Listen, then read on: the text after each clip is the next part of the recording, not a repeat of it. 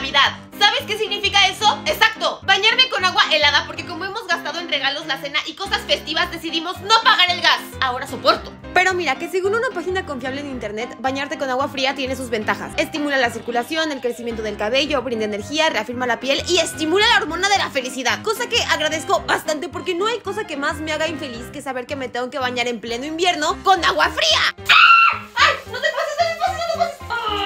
Afortunadamente soy alguien que tolera y si puedo tolerar el frío trato de los trabajadores de la compañía telefónica cuando llamo para reclamar algo y ellos solo responden ¡Esperen la línea! Dejándome como mensa 30 minutos escuchando musiquita de elevador para que al final los mecos me cuelguen Puedo tolerar un significante baño con agua fría ¡Tengo las patas heladas! Y a los que me estuvieron comentando en mi otro video ¡Ay mira, pareces pie grande! Pues sí, estoy patona, canso del 6 y medio y...